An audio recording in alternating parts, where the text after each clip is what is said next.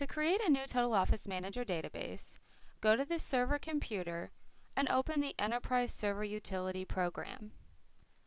Within the Enterprise Server Utility program, click the Database Setup Wizard button in the top left-hand corner. Click the Next button to proceed.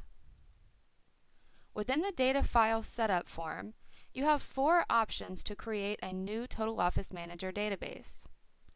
The first option is to create a new company based on a sample company. This option allows you to create a new company file with sample information pre-populated. This minimizes some additional setup that may be required. The second option is to create a new blank company and populate this information yourself. This allows you to create the Total Office Manager database and set up all of your options from scratch.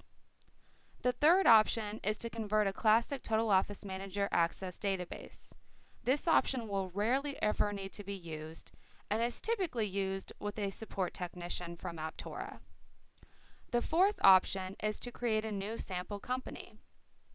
This allows you to create a sample company database and use the sample company to learn how to access software information, to learn setup, and to simply play around with the information in the database. We highly recommend that you use this option when getting started with Total Office Manager to familiarize yourself with the software and how it functions.